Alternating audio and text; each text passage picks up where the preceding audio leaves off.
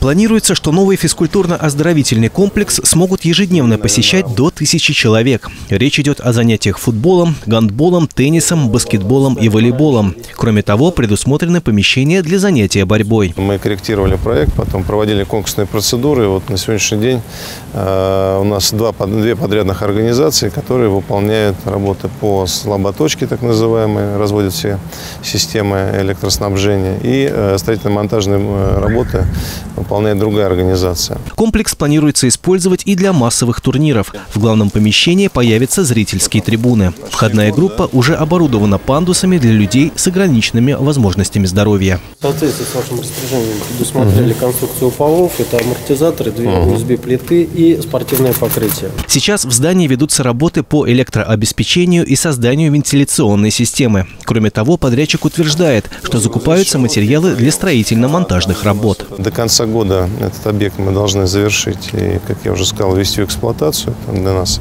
дело чести, потому что мы рассчитывали э, в прошлом году э, это сделать, но вот из-за э, определенных сложностей подрядных организаций мы с этой работой не справились.